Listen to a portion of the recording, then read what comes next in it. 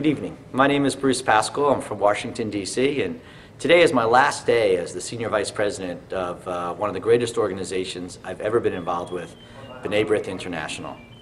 And the question I was asked is, how has B'nai B'rith International impacted my life?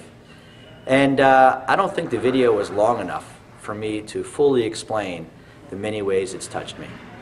Let's just start off, first of all, of the amount of introductions of how the world works, how things are done, and what goes on around the world. And that's what B'nai B'rith has done. It's taken me to Germany, it's taken me to France, I've been to Italy, uh, Cuba. Been to Cuba, for example, 10 times with B'nai B'rith missions. And uh, each time I go, I learn. We may be meeting with the Pope when we go to Rome. We may be meeting with the uh, senior leaders of Italy or the senior leaders and future leaders of Germany. In each case, we watch Daniel Mariaschin, our leader of our organization, show how diplomacy is done. Uh, and I feel I've been under diplomatic training program from the day I started with B'nai B'rith, and for that I'm very grateful. But just to pick one aspect of B'nai B'rith, let me talk about Cuba. I've been to Cuba 10 times.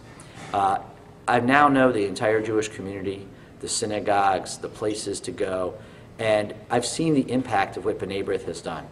From a synagogue that barely had a roof to overflowing, not just getting a minyan, but 50, 60, 70, or 80 people showing up to a Shabbat service. Watching the holidays with hundreds of Cuban Jewish families coming from all around the island Havana to put on a Hanukkah show. Uh, and I know all of these things are happening because of the good that B'nai has done in terms of supporting the community, bringing medicines, bringing CDs, helping with financial aid. Uh, B'nai is just an incredible organization, and I thank you for the opportunity for what B'nai has done for me. Thank you.